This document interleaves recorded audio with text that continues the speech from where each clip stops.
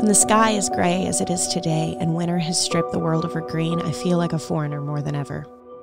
In the summer, when I can plunge my hands into the earth of the garden and breathe in the thick, hot air that teems with life, I can feel you close. Then you cling to me like the sweat on my skin. Then the screaming cicadas and the call of tree frogs could be the distant echo of a throne room. Then the trees and the grass and the moss on the chicken coop all grow vivid green.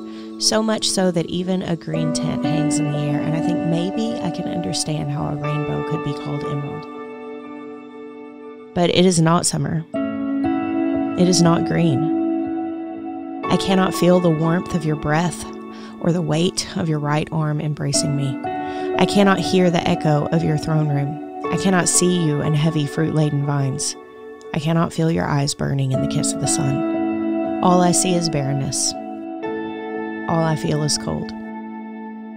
I miss the green so badly it hurts, and right now I am sustained by the fact that truth does not wither as the summer garden does wither. Your kiss is far more consistent than the sun. Your touch far surpasses my capacity to perceive it. Your goodness is everlasting, never fading. You are good, God of everything. You are sovereign, imaginer of the seasons. You sustain. On gray days and green, you sustain me.